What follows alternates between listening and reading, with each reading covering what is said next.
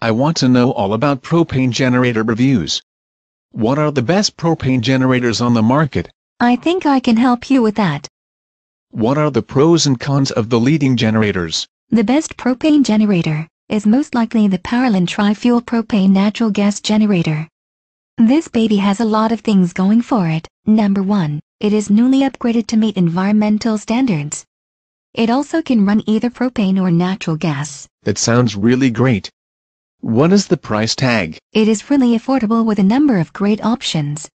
It can be purchased for as little as $1,400. Okay, what else if notable about this super generator? One of the other notable things about this generator is that it has an NG regulator to reduce noise levels.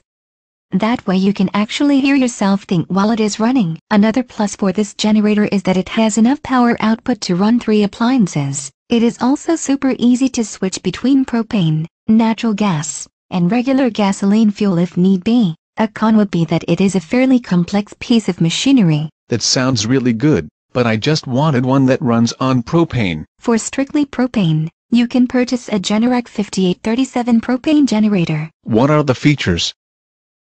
So glad you asked. The features include a noise reducer.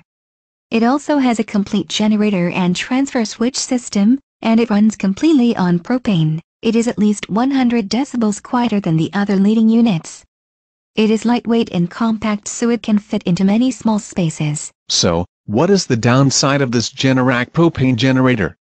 There is always a catch. Even though it is designed to be quiet, some people report that it is very noisy. The noise isn't a big deal to me, I plan to run it outside or in the garage anyway. It also has to have a large clearance space on either side of it, so it can't go under a deck, but other small spaces may be fine. Thanks for your help, and for generating some ideas for me. Pun intended.